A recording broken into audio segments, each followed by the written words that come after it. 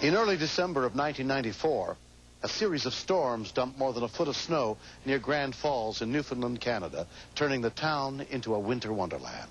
But for Mona Hammond, with the storms came a frightening reminder of how fragile life can be.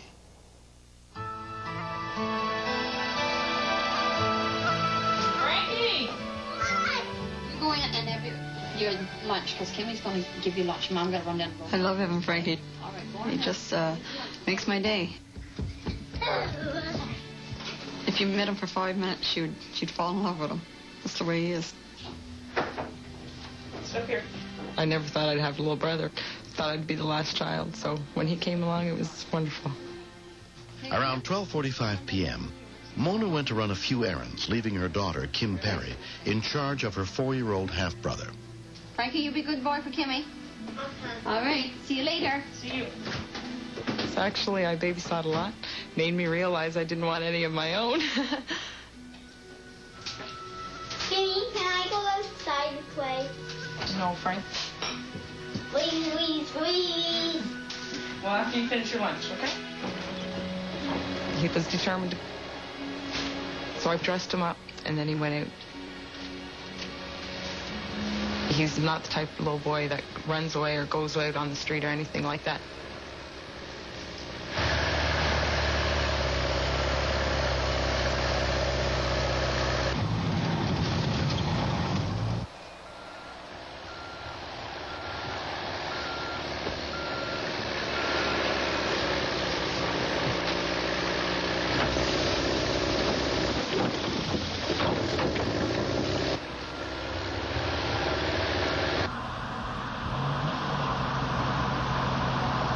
Around 1:25 p.m., Mona returned to the house. Frankie, Mom's home. Kim, where's Frankie to? Gone outside. How long ago did you put him out? About ten minutes ago.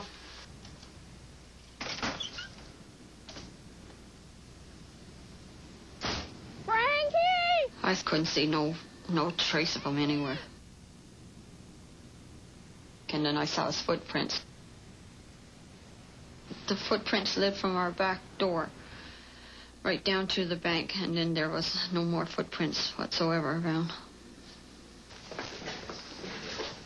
At 1:32 p.m., the call for help came into the Grand Falls Windsor Fire Department. Bring your shovels with you. Volunteer firefighter Vince McKenzie headed to the scene. When the dispatcher said, bring your snow shovel, that really struck me odd. You don't fight fires with snow shovels. So the tracks didn't go back? No. When Kim got a hold of Frankie's father, Ed Hammond, he immediately left work to come home. Oh, what happened? Frankie, My wife, she was she was sure he was down under the snow. I plowed a lot and pushed it back. I think you know we were all couldn't believe it really. Check the house. Yes. I could hear people in the background saying, well, we might never be down there. You call it mother's intuition, but I just knew he was where he was. I think they must have thought I was crazy.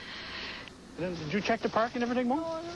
I think you should check the park to make sure he's not over there. I was thinking, hoping that he was gone somewhere else. Uh, gone to his friend's place, or he was over at the park.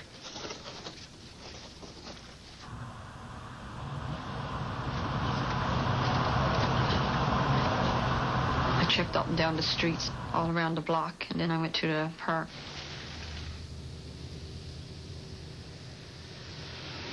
And there was no footprints, not a soul over there. And I said, I just know I'm not going to find him anywhere else. I said, I know he's at the bottom of that snowbank. I had to double check the house. Went over to his friend's place and never saw no sign of Frankie. Nobody seen him around at all. And it just started to sink in that he is down underneath there. More than 50 volunteers had come to help look for the little boy. But by this time, he had been missing for more than 30 minutes. I remember really feeling for the parents. Because it wasn't actually confirmed that the child was underneath the snow. I was really hoping and praying that he wasn't there. Frankie. I went in Frankie's room and I saw Frankie's toys. And uh, I said, my gosh, I said, only a few minutes ago he was there playing with his toys. I uh, grabbed all of his teddy bear because Frankie used to sleep with his teddy bear all the time. And I just, I just had a feeling. I just said, Frankie, just hold on for a minute. I said, we're going to find you.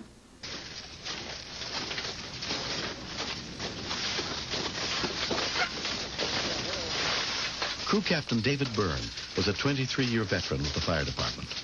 I really thought we were going to find a body rather than a, live four-year-old under this much snow. If not for lack of oxygen, for just weight and everything else. Boys, hold it. Everyone turn their shovels upside down.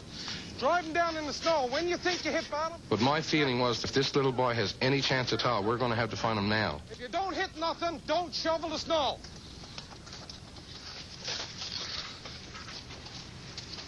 One lady said, gosh, it's been down there over an hour now. It seemed like only five minutes to me. I said, after an hour, I said, my gosh, he would be still breathing when they pulled him out of there.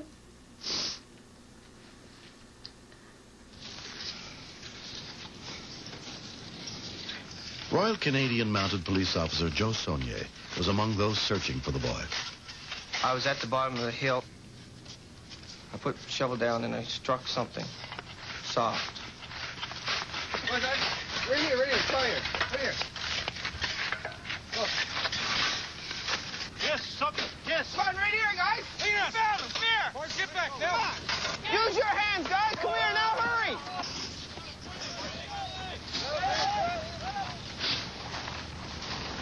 Right here.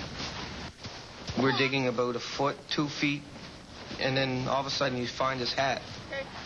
Give me your hand. Go, around the body. There was such a large area. To actually find the young fellow was a miracle. But I thought the young boy was dead. Take it easy, take it easy. I moved the snow away from his face, and then all of a sudden he blew out a puff of snow out of his nose. Frankie had been buried for more than 70 minutes. Come on! We got him. Come on! He's alive! I said, oh my gosh. I said, that was he. And he said, we don't know. He said, but he's still breathing.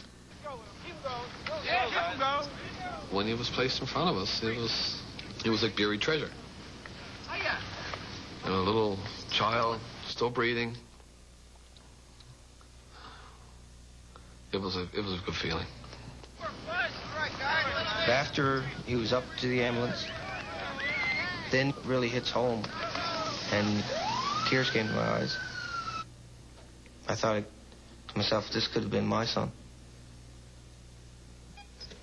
At Central Newfoundland Regional Health Center, four-year-old Frankie Hammond was put under the care of pediatrician Heinrich Stander. How Frankie survived underneath the snow for that amount of time with the amount of oxygen that would have been available to him still remains a, a bit of a riddle. He was still unconscious, but the doctor told us to get down, whisper in his ear. I said, Frankie, I said, uh, Mommy and Daddy's here now. I said, I said, you're going to be okay now. And the two eyes just shot right open. The closest time I came to crying there when I saw him. There with the two eyes open up, looking at us. Here, Mommy. Frankie.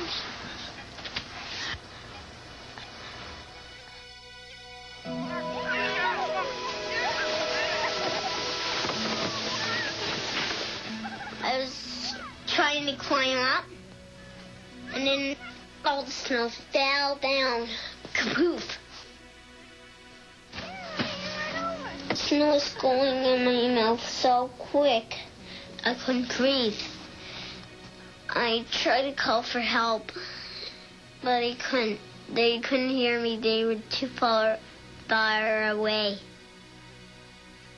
Okay. Okay. Frankie's doing great.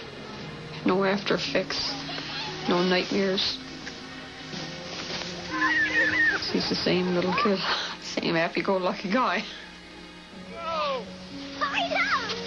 Frankie is over it, I'm pretty sure. Now it's a big problem for me and the mother to get over it. There we go. There you go. Hey.